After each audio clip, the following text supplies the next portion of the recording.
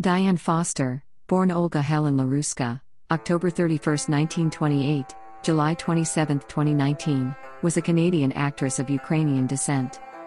Foster was born in Edmonton, Alberta, Canada.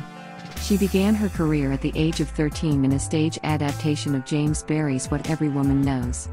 In London in 1951, she appeared on stage in Agatha Christie's The Hollow and Orson Welles' Othello. At 14, she began a radio career, subsequently moved to Toronto, and became one of Canada's top radio stars, working with Andrew Allan, drama supervisor for the Canadian Broadcasting Corporation on productions such as Stage 49. She appeared on Radio Luxembourg in a broadcast of the lives of Harry Lime. She married Andrew Allan in 1951. In March 1952, her husband returned to Canada while she stayed in London, England, to honor her five year contract with a British film company. In 1953, she co starred alongside Charlton Heston and Lizabeth Scott in The Middling Bad for Each Other. In 1954, she was signed by Columbia Pictures and relocated to Hollywood, where her first appearance proper that year was with Mickey Rooney in Drive a Crooked Road. In 1955, Foster appeared on the cover of Picturegoer and co starred in two films Glenn Ford's The Violent Men and Burt Lancaster's The Kentuckian. Although her film career continued, it was not on the same upward trajectory as before. In 1957, she co starred in the biopic Monkey on My Back about boxer Barney Ross, Night Passage with James Stewart, and The Brothers Rico with Richard Conte.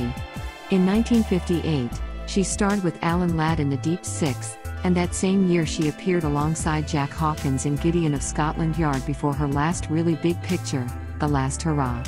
It featured an all star cast that included Spencer Tracy, Pat O'Brien, and Basil Rathbone, and was nominated for a BAFTA Award. In 1963, she made her last film appearance, in the Dean Martin vehicle Who's Been Sleeping in My Bed?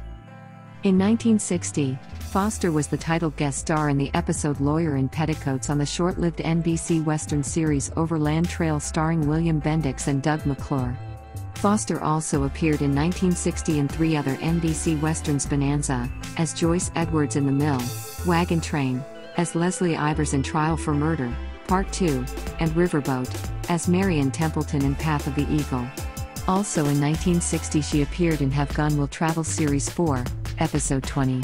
There was a three year absence before she next returned to the big screen in King of the Roaring Twenties, the story of Arnold Rothstein.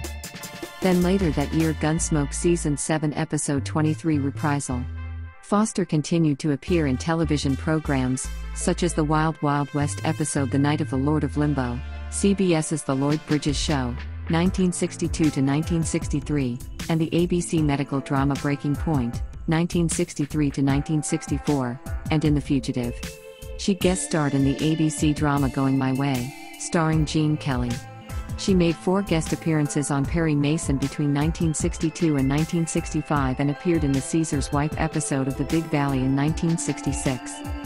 In 1951, Foster married Andrew Allan, head radio drama supervisor for the Canadian Broadcasting Corporation, in London. They soon divorced, as in 1954 she married Joel A. Murcott, a Hollywood radio and television scriptwriter, in Owensboro, Kentucky.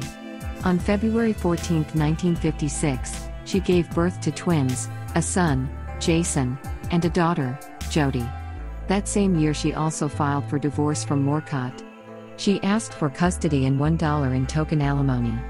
The couple reconciled, but it proved to be temporary as they separated twice more before finally divorcing in 1959.